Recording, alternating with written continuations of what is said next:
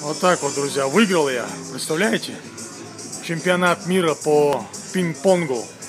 Вот, и вот это вот показывают сейчас, как я выиграл. Смотрите, точнее, как я играл. Это вы сейчас видите, как чемпионат мира вообще по пинг-понгу проходил и как надо правильно играть. Смотрите, смотрите, смотрите, задвижение. Вот как надо правильно забивать, как надо правильно бить, как правильно надо ударять. Видите? Притом, притом с камерой, с камерой. Вот так, вот так вот. Так, ладно. Пока выключаюсь, по правде говоря, я, конечно, знал, что такие вещи существуют, но сам лично я впервые в жизни играю в этот пинг-понг телевизионный. То есть я до этого сюда подошел и не могу понять, где этот пульт, ищу пульт, вот это вот еще, здесь везде ищу, вот здесь везде ищу.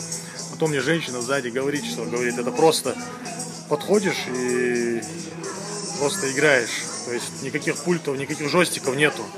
Вот такие вот дела. Я думаю, что в скором времени не будет и вот этих движений вообще. Даже телевизоров не будет, будут ли реальные такие.